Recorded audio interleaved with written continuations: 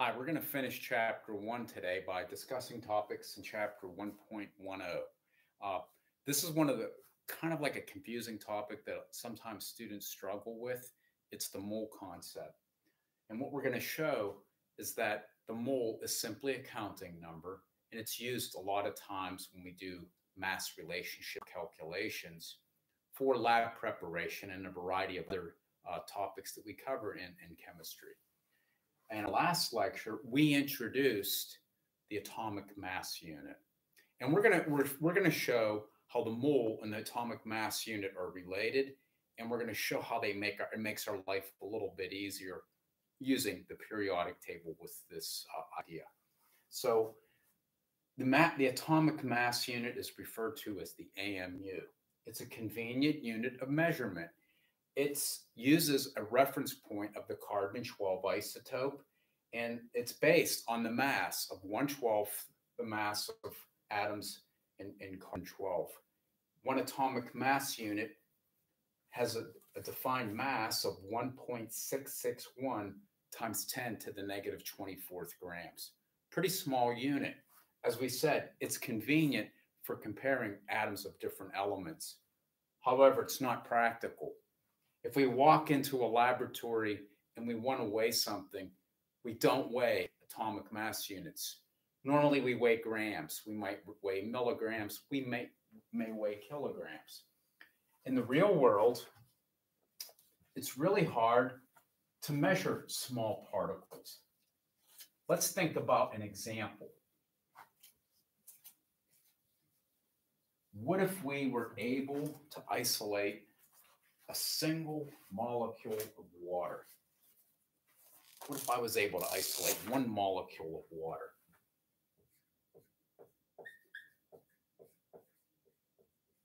One small molecule of water has a mass of about 3 times 10 to the negative 23rd grams.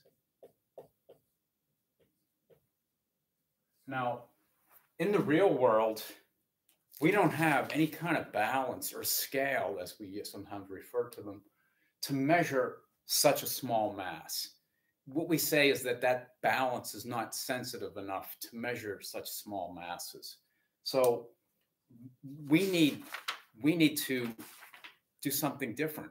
We need a solution to this problem.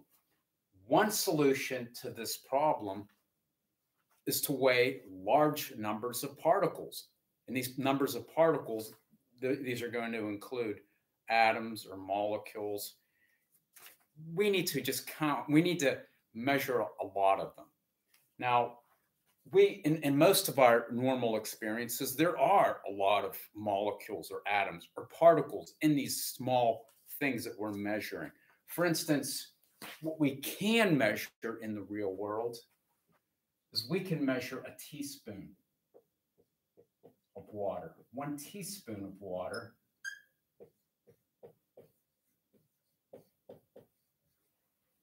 is something we can visualize and we can weigh in the laboratory one teaspoon of water has a mass about five grams.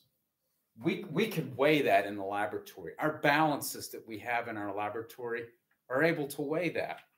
And if we were able to analyze the number of particles, the number of water molecules, what we're going to find out are there about 2 times 10 to the 23rd water molecules in this teaspoon. So, what the take home message is we can't measure small single atoms or molecules. We need a large number of them to measure something in the real world. And notice these are on, on, on a scale of 10 to the 23rd. That's a pretty big number. And so, what we do in science is we use a counting number to represent a certain number of particles that we can weigh out in, in, in real world applications. So let's think about some, let's think about what a counting number is. You might say, I don't know what you mean by a counting number. Counting numbers.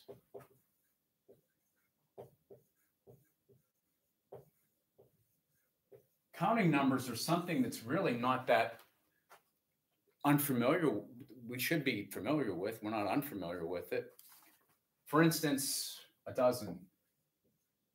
When you go to the store, you might buy a dozen eggs, and you should know that a dozen has is 12 items. Another counting number that we're probably familiar with is a pair.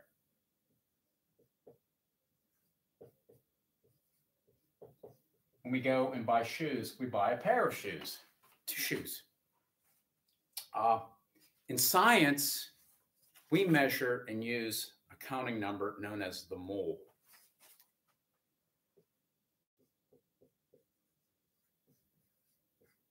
One mole is equal to 6.022 times 10 to the 23rd items.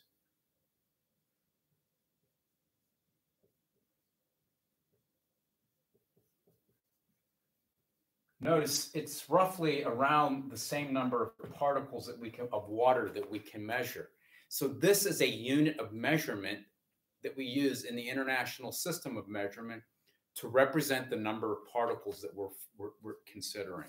Now in science, we're usually going to look at a mole of atoms or molecules, but we can have a mole of anything. And we're actually going to go through a little exercise to help address and visualize a mole of, of, of a something that we might be uh, familiar with. So let's let's define a little bit more about the mole. So the mole. Let's let's spend some time discussing it and how we have a reference for how we define it. We need we need to refer to something to define a mole, and we, we're going to introduce that. So let's think about what a mole is. So as we said, one mole is 6.022 times 10 to the 23rd items. And in science, these can be atoms or molecules and so forth. But we can have a mole of other things. We can have a mole of baseballs. We can have a mole of pennies. And in a second, I'm going to give you a visual exercise to think about what a mole of donuts would look like.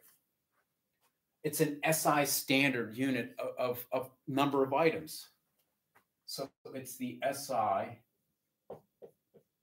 base unit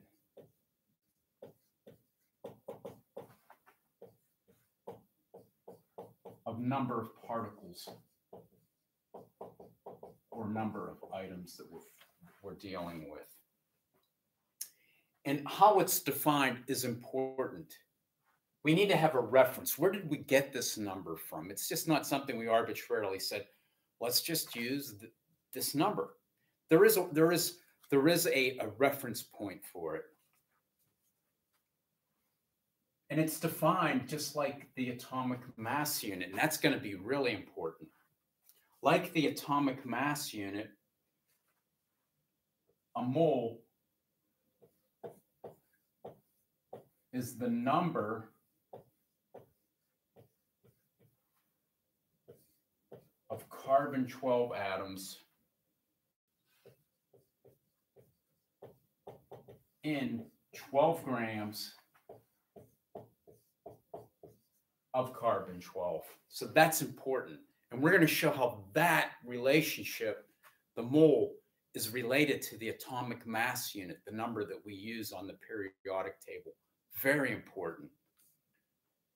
And it's referred to and given on exams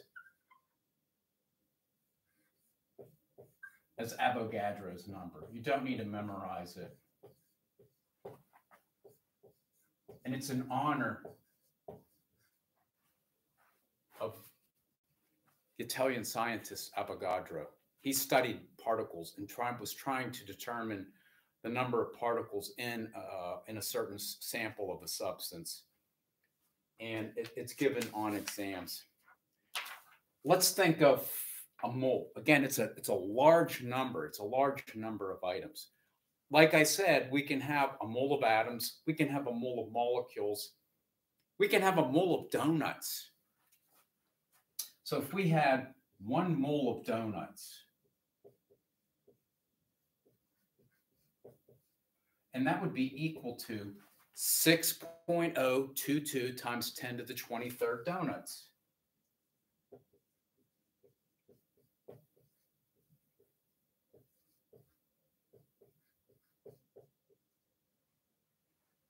Now, this I was given this data. I, am going to believe it it would cover the Earth. So here's our planet Earth. Here's planet Earth. Here's United States. It's supposed to be like there. And up there's Canada, and there's South America.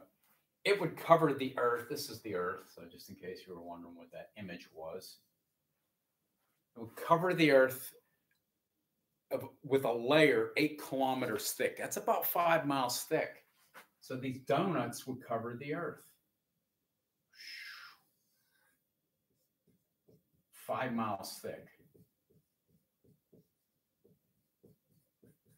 Now, you can look up other relationships between what a mole is. I found another one. It's kind of cool. If you were given a mole of pennies the day you were born and you spent a million dollars every second of your life until the time you died at the age of 100, you would still have 99% of the money that you started out with. That's a, that's that's that's an outrageously large number. That's how big this number is. And that's that's an, that's important to visualize it. But what's really important about the mole is how it's defined. It's defined just like we defined the atomic mass unit. So let's look at this relationship right here and understand how this is comparable to the atomic mass unit and why this is really important in terms of mass relationships.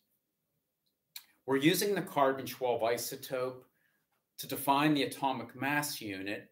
And we're also using the same relationship for defining the number of particles in a mole. So what's important, the take home message? Well, let's look at carbon 12 again, or just carbon. This is from, uh, we, we've been talking about this a lot, carbon. And let's just look at this. This is from the periodic table. You probably reckon. Notice when they have this number written here, you ever wondered, they don't have any units written with it. Dr. Patton said, we always have to have units written with our data. That's because this number here, it represents the units of data depending upon the data that we're looking at. Let's think about what's important. One atom of carbon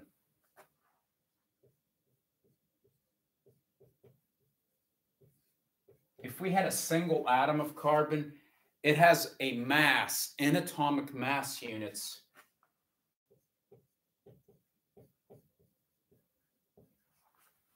And due to the fact that the number of moles are related to carbon 12 isotope, the same way we define the atomic mass unit, this is the take home message.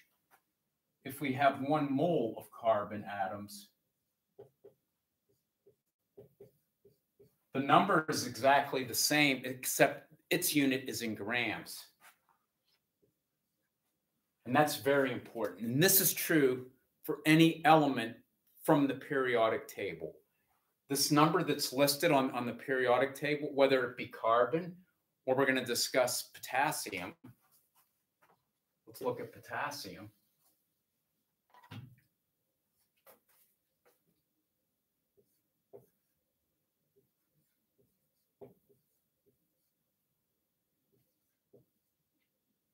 and potassium has 19.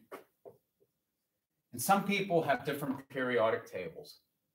So some people have periodic tables that are limited to four digits. So sometimes you'll see this, and it's just because some periodic tables round them. And on my on my PowerPoint slide, I'm using the more more significant figure just because I found it on a different periodic table. But notice they're just rounding. That that's the only thing. Don't have a heart attack. We have the same relationship. One atom of potassium has a mass of 39.10 atomic mass units. If we had one mole of potassium, it has a mass of 39.1 grams. So this is a very important relationship. This this this number that's used on the periodic table, it's it is the average atomic mass of, uh, of an atom in atomic mass units. And it's also the molar mass for one mole of that particular substance. So a lot of times we do use the term molar mass. Molar mass, it equals the mass,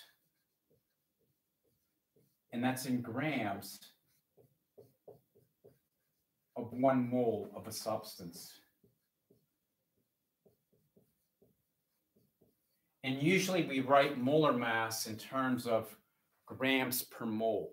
For potassium, it has a molar mass 39.10 gram per mole. If we look on the periodic table and use a different element, sulfur, sulfur is 32.07 grams per mole. Notice this is a actual conversion factor. And we're going to use this relationship between the molar mass, the mole, and, and, and mass for a lot of different relationships that we're going to be dealing with in our next video, which goes through a variety of applications of the mole concept.